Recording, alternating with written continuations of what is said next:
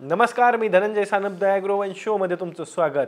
राज्य सरकारनं नमो शेतकरी सन्मान निधी योजनेचा चौथा हप्ता वितरित केला पण शेतकऱ्यांच्या खात्यावर हप्ता जमा झाला नाही. हप्ता जमा झाला की नाही याबद्दल शेतकऱ्यांनी ऑनलाईन स्टेटस कसं चेक करायचं त्या व्हिडिओच्या कमेंट्समध्ये अनेकांनी व्हॅलिडेशन स्टेटस रिजेक्टेड दाखवतं असं आम्हाला कमेंट करून सांगितलं होतं. त्यामुळे पात्र असूनही बहुतांश शेतकऱ्यांचा हप्ता अडकून पडलेला आहे.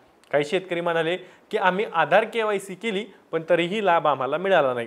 तर आम्हाला नमो शेतकरी महासन्मान निधी योजनेतून वगळण्यात आल्याचंही शेतकऱ्यांनी सांगितलं पण तसं नाही आहे नमोचा चौथा ज्यांना हप्ता मिळाला नाही त्यांच्या खात्यावर जमा होणारे आता तो हप्ता. पण आता तुम्ही कधी असा प्रश्न विचारताल? तर ते सांगतो पण यात राज्य सरकारनं शेतकऱ्यांचा नुसता संभ्रम करून ठेवला आहे हो राज्य सरकारनंच नमोचा गोंधळ वाढवून ठेवलेला आहे. तोही विधानसभेच्या निवडणुकीसाठी. कसा? तर तुम्हाला आठवत असेल नमोचा चौथा हप्ता जुलै महिन्यात येणं अपेक्षित होतं. त्याचवेळी कृषी विभाग मात्र दोन हप्ते म्हणजेच चौथा आणि पाचवा हप्ता एकत्र जमा करू असं म्हणून प्रयत्न करत होतं. पण अर्थ विभागानं वीस ऑगस्ट रोजी एका हप्त्याला म्हणजे चौथ्या हप्त्याला मंजुरी दिली. दोन हप्ते एकत्र वाटप करण्याला मंजुरी दिली गेली नाही. कारण आधीच भारंभार योजना राज्य सरकारनं जाहीर केल्यात. त्यात नमोचे दोन हप्ते एकाच वेळी देण्याऐवजी एकच म्हणजे चौथा हप्ता अर्थ विभागानं देण्यासाठी मान्यता दिली. मान्यता दिली ती कधी दिली? तर वीस ऑगस्ट रोजी. आणि त्यानंतर दुसऱ्याच दिवशी परळीतील कृषी महोत्सवात चौथ्या हप्त्याचं वितरण करण्यासाठी कार्यक्रम आयोजित करण्यात आला. म्हणजे हा कार्यक्रम रातोरात आयोजित करण्यात आला होता. कारण या कृषी महोत्सवाला केंद्रीय कृषी मंत्री शिवराज सिंह चौहान हजेरी लावणार होते. त्यामुळे मुख्यमंत्री दोन्ही उपमुख्यमंत्री आणि राज्याचे कृषी मंत्री यांनी गाजावाजा करत चौथा हप्ता वितरित करण्याची सोपस्कार उरकून घेतले. पण याच दरम्यान एक गडबड झाली. नव्वद लाख अठ्ठ्याऐंशी हजार शेतकऱ्यांच्या खात्यावर एका दिवसात पैसे जमा करणं म्हणजे डाटा उपलब्ध असूनही तितकं सोपं नसतं. राज्य सरकारनं योजनेचे पैसे बँक खात्यात जमा केले आणि थेट शेतकऱ्यांच्या खात्यावर जमा केले असं होत नाही. कारण पी एम किसान योजनेचे लाभार्थी या योजनेचेच लाभार्थी आहेत. म्हणजे याच योजनेसाठी पी एम किसानचाच डाटा वापरला जातोय. त्यामुळं पी एम एफ यस या पोर्टलवरून लाभार्थ्यांचं व्हेरिफिकेशन केलं जातं. त्यासाठी वेळ लागतो आणि मग शेतकऱ्यांच्या खात्यावर पैसे जमा केले जातात. पण अनेकांना हा हप्ता जमा झालाच नाही. त्याचं कारण केवळ योजनेच्या गाजावाजा करण्याच्या नादात राज्य सरकारनं प्रोसेस घाईगडबडीत केली यातच दडलेलं आहे. त्यामुळं लाभार्थींच्या बाबत टेक्निकल गोंधळ निर्माण झालेला आहे.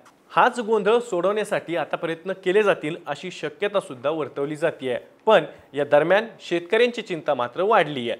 चौथ्या हप्त्याचं व्हॅलिडेशन स्टेटस रिजेक्टेड असं ज्या शेतकऱ्यांना दाखवलं जात आहे पण ते शेतकरी पात्र आहेत तर मात्र नमोचा चौथा हप्ता त्यांना मिळणार आहे. अशा शेतकऱ्यांच्या खात्यावर जास्तीत जास्त आठवड्याभरात नमोच्या चौथ्या हप्त्याचे पैसे जमा होतील जे शेतकऱ्यांच्या अजून झालेले नाही आहेत अशा शेतकऱ्यांच्या. कृषी विभाग त्याची दखल घेणार आहे अशी माहिती सुद्धा सूत्रांनी दिली आहे. तसंच अठ्ठावीस फेब्रुवारी दोन हजार चोवीस रोजी पी एम किसान आणि नमो शेतकरी सन्मान निधी योजनेचा तिसरा हप्ता ज्यांच्या खात्यावरती जमा झालेला होता त्याचवेळी शेतकऱ्यांना नमोचा चौथा हप्ताही काही शेतकऱ्यांच्या खात्यावरती जमा करण्यात आला होता.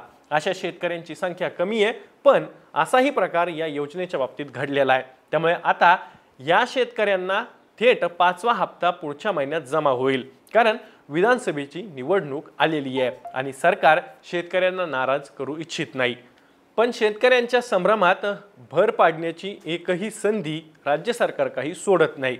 सोयाबीन कापूस अनुदानासाठी ई पीक पाहणी अट असो वा नमोचा चौथा हप्ता असो राज्य सरकार गाजावाजा करून शेतकरी हिताचं सरकार अशी शेखी मिरवण्याचा अट्टहास करत आहे आणि त्यामुळे शेतकऱ्यांमध्ये मात्र संभ्रम निर्माण होऊ लागला आहे तर आता नमोच्या चौथ्या हप्त्याविषयी तुमचे काही प्रश्न असतील तर कमेंट बॉक्समध्ये नक्की विचारा.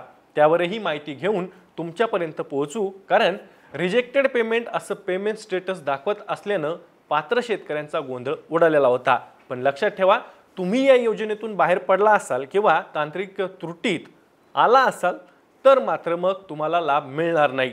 त्यांची माहितीसुद्धा वेबसाईटवर दाखवण्यात येत नाही. पण जे पात्र शेतकरी आहेत फक्त वितरणाच्या प्रोसेसमध्ये गडबड झाली आहे म्हणून रिजेक्टेड झालेत त्यांना जास्तीत जास्त आठवड्याभरात त्यांच्या खात्यावरती चौथा हप्ता जमा केला जाईल. कारण नव्वद लाख अठ्ठ्याऐंशी हजार शेतकरी या योजनेसाठी पात्र ठरलेली आहेत. पण राज्य सरकारनं सोपस्कार उरकून घेण्याची गडबड केली आणि शेतकरी त्यामुळे गोंधळून गेले.